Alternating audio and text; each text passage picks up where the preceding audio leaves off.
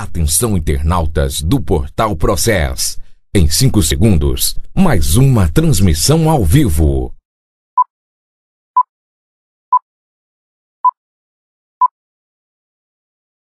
Exatamente, falamos ao vivo aqui no Portal Processo mais uma vez. Só você deixar aberto o Portal Processo na sua máquina que a qualquer momento a gente entra ao vivo e você fica sabendo o que está acontecendo pela cidade. O local que está complicado aqui, ó, Trolese, Avenida Trolese. Nós estamos exatamente aqui nesse ponto. E foi recém recapeado, né? Mas dá uma olhada, o asfalto já, com as chuvas de ontem, acabaram já trincando.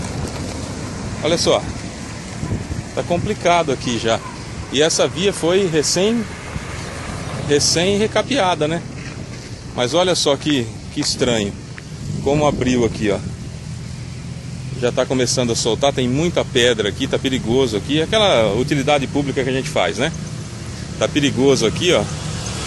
Principalmente para motociclistas, né? Eles vêm desatentos, ou não desatentos, mas bem tranquilos e de repente, ó, como esse carro passou no buraco aí, pode perder o controle de direção.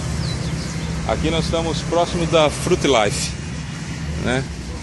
Ali é a Rui Barbosa, essa aqui é a, não sei se é a continuação da Rua Dobrada, enfim, a localização é essa daqui, ó, para ficar mais fácil. Em frente a Citrolife, aqui, ó, mais fácil. Pronto. Aí você já localizou tudo. As pessoas vêm falando no celular e dirigindo, ó, aí não vê, passa por sobre o buraco, só vai abrindo cada vez mais. Vou aproveitar que o trânsito está mais calmo aqui agora. Vou mostrar de pertinho para você como que tá. Olha só. Né? Já tá abrindo tudo já. Ó. Estranho, principalmente essa parte aqui, parece que estufou por baixo. Né? Recém recapeada aqui a Avenida Trolese, para quem está descendo no sentido Imperador Quarto Centenário.